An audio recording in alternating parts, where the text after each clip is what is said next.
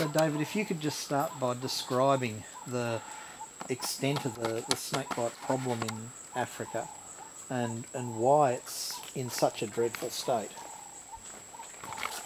The problem of snakebite in sub-Saharan Africa is largely unknown, but the pieces of information we do have, the bits of reliable information from certain countries, for example, West African countries like Nigeria and some of the East African countries, suggest that this is a very common, in some parts of Africa, this is a very common uh, emergency. Of course, not all the bites are uh, associated with injection of venom, not all of them are inflicted by venomous snakes. But um, there are some, some examples, for example, um, community studies in, in the part of Senegal uh, suggested that 15 or 20 people per 100,000 population were being bitten each year, with uh, perhaps five or more deaths per 100,000 population per year. And uh, this amounts to a pretty serious problem. What makes it worse is that there is a, a, a, high degree of ignorance about the correct procedure following a bite. Um, and also there's a, a lack of trained medical personnel, even if the victim is sensible enough or lucky enough to get to a medical facility. There's a, a very widespread lack of, of skill and even interest among medical personnel in treatment of snakebite and there's a lack of the essential antidote which is antivenom. And why is antivenom lacking in Africa? It's a complicated story and what makes it even more tragic is that the situation seems to be getting worse rather than better. Um, towards the end of the 20th century there are a number of very well established European uh, manufacturers in, in Germany and France who made uh, antivenoms and exported them to, to uh, many parts of Africa. Uh, they have largely closed down or their products have become so expensive that they're no longer appropriate for people living in ordinary rural parts of Africa. Um, so it's, it's a problem of suppliers. Antivenom manufacture is not very profitable. It's not like making a heart drug where you can hope to recoup your uh, the expenses incurred during research and development. Uh, you can't charge a high price for antivenom because the consumers are the most impoverished, the poorest rural people. These are the ones who are most exposed to snakebite, poor subsistence farmers.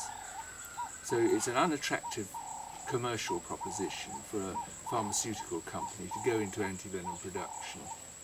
And there are all sorts of other problems, like conserving the antivenom because it's a protein and it won't survive uh, uh, in, in good condition at very, high, at very high ambient temperatures that exist in many parts of Africa. And um, the whole business of, of supply and uh, proper distribution to the parts of the country that have the largest snakebite problem. All this is deficient.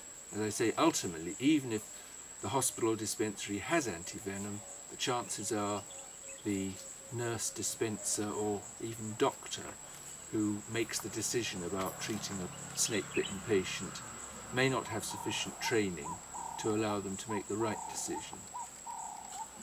So this is not a not a case where there's there's no treatment. This is a case where there is a treatment, but it's just not accessible. Is that right?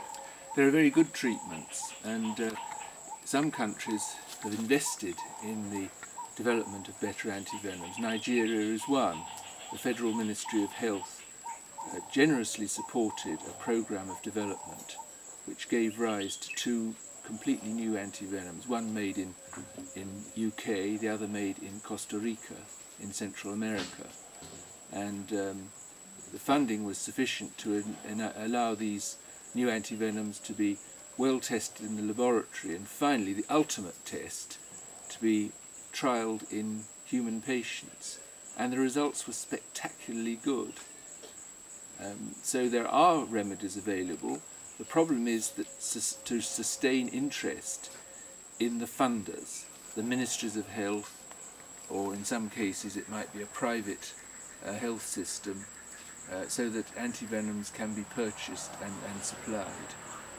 So why do we need to embark upon a project to, to create a new pan-African polyvalent antivenom that can treat all snake bites if there are already products around?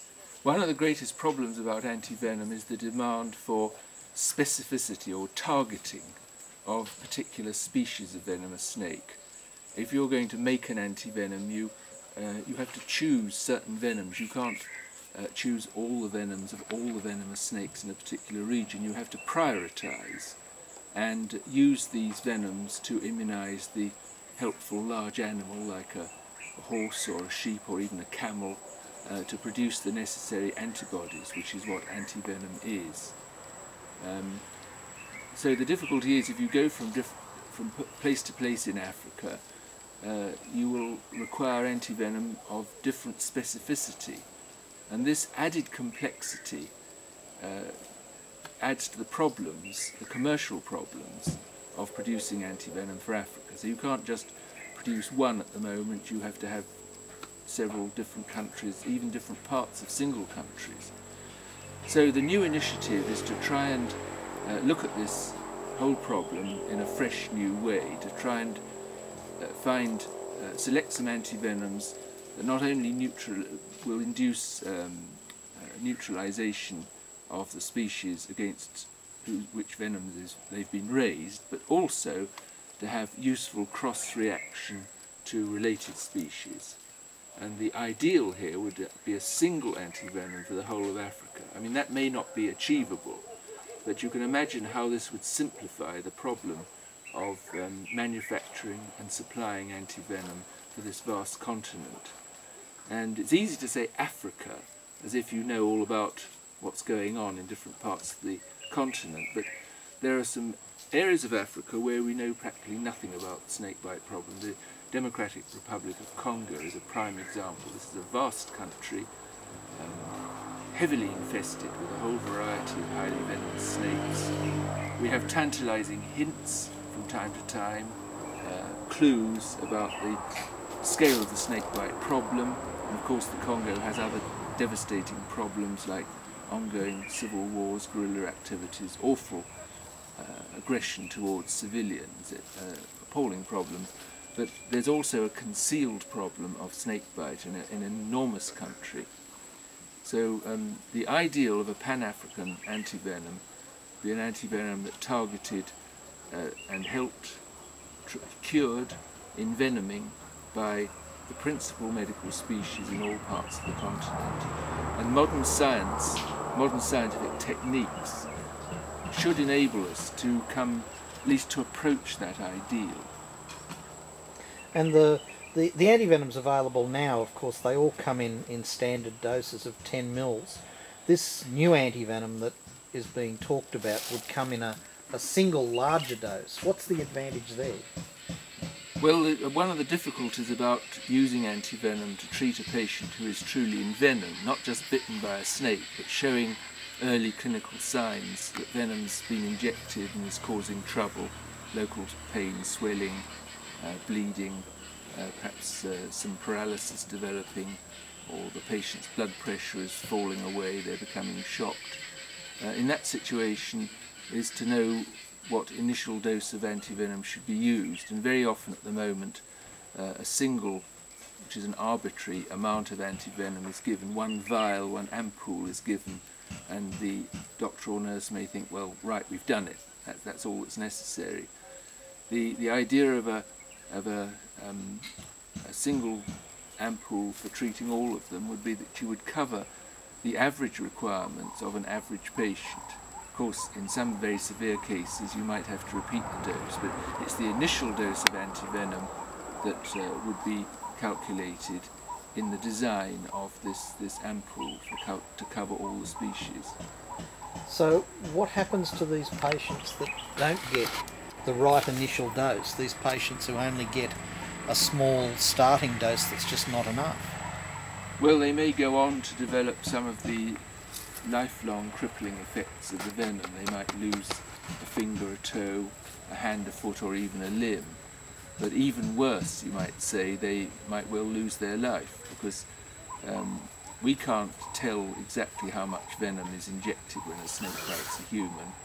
Um, we know the maximum amount that's possible for a particular species, but um, to only partially neutralize the venom means that there's still venom in the body uh, being circulated, uh, targeting the particular organs and tissues and uh, producing life-threatening effects or permanently crippling effects.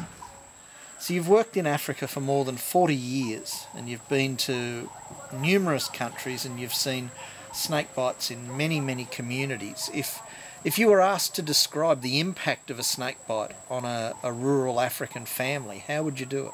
Well, there are, there are villages, uh, there are areas of West Africa, northeastern Nigeria, which I know particularly well, where snake snakebite is such a common and such a devastating problem that there will be scarcely no family in the village uh, that hasn't lost a relative, a near relative, in, in living memory. So I'm not talking about a very rare disease here. I'm talking about an intensely common problem. And the impact, of course, might be death, or, or even if the patient's lucky enough to survive, they may, may be left with a, um, a long-term effect of the snake bite that completely alters their life. For example, a young farmer is bitten on the foot and uh, loses that foot due to the tissue killing effects of the venom. Uh, he won't be able to work as a farmer. He will be a cripple and a beggar in those very poor communities. Uh, his survival will depend on the generosity of his family and his, his neighbours and the other villagers. A young girl may have a deforming injury to, the, to a limb as a result of a snake bite. That will ruin her chance of marriage. I'm afraid these are very tough competitive societies. They are unforgiving societies. So snakebite can have a devastating effect not only for the, the victim of fatal envenoming, but also for the ones we might think were lucky to, to survive. But they survive with, with very serious impairment. And there are lots of other variations. I mean, some uh, snake venoms cause bleeding, for example, into the brain. So a young person may be left with the sort of consequences that will be familiar uh, in people who've had strokes. You know, they're left with paralysis of one side of the body, that sort of loss of uh, ability to speak, that sort of thing. So we're talking about a burden of mortality, of death, and also an even larger burden of morbidity or permanent, socially unacceptable, crippling deformity. Thanks. I think that'll do it. Cheers.